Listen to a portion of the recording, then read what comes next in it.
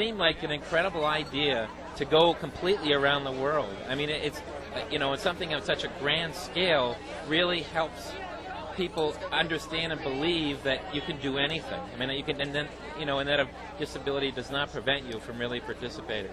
Everyone is is, is really responding to the whole idea that that people with disabilities, you know, don't have limitations, and a disability doesn't have to prevent you from participating in life and in sports and all kinds of activities. The hills.